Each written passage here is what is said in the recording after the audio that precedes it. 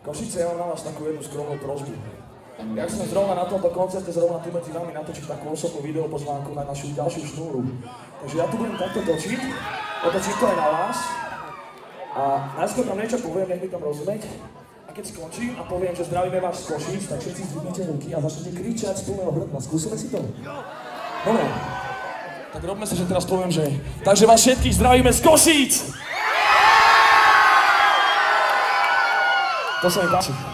Presne takto nejak si to predstavujem, len poprosím aj tých všetkých, čo sú vzadu a pri bare, natlačte sa sem k nám. A keď sa nenatlačíte, tak aspoň zdvihnite tie ruky a rejte úplne do vzduchu, že! Dobre? Ďakujem.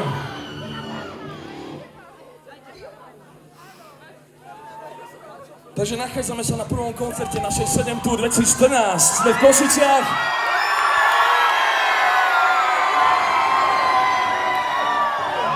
Je tu asi takáto atmosféra. Ľudia sú úplne skvelí.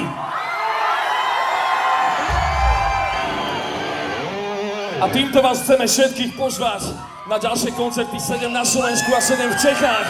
Takže 7 tu vidíme sa! Díky moc, ahoj! Košice ste super, díky moc, toto bude super. OK, sú to aj fanúšikovia, ktorí poznajú niečo z našej pôvodnej tvorby a posledný na nich album.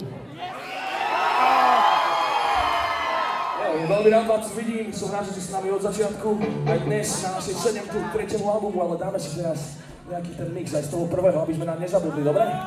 Takže poďte, chcem vidieť, jak to roztočíte, Košice!